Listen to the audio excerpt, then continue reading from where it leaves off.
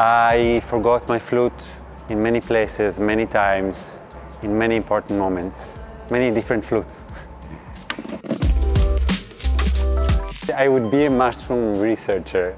I love, I'm attracted to mushrooms in a weird way, like different kinds of mushrooms.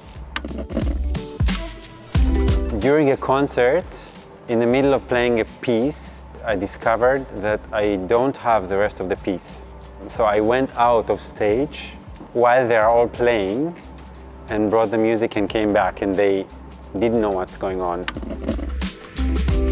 I would go to the Calanque near Marseille and live there because it has uh, mountains and it has sea and it's incredible. Bye!